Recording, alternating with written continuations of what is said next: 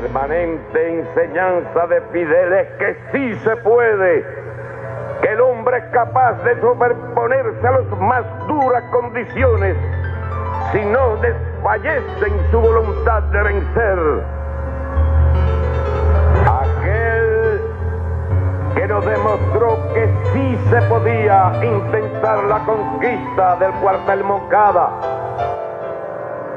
sí se podía convertir aquel revés en victoria, que sí se podía llegar a las costas de Cuba en el yate Granma, que sí se podía resistir al enemigo, al hambre, la lluvia y el frío, y organizar un ejército revolucionario en la Maestra tras la debacle de alegría de Pío, que sí se podía derrotar con 300 fusiles la ofensiva de más de 10.000 soldados, que sí se podía derrocar con el respaldo de todo el pueblo la tiranía baticiana apoyada por el imperialismo norteamericano.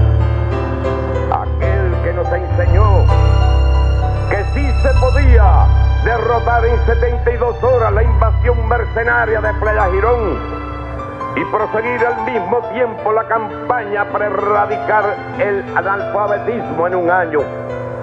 Que sí se podía proclamar el carácter socialista de la revolución a 90 millas del imperio. Que sí se podía mantener con firmeza los principios irrenunciables de nuestra soberanía, que sí se podía enviar ayuda solidaria a otros pueblos hermanos en lucha contra la opresión colonial, la agresión externa y el racismo.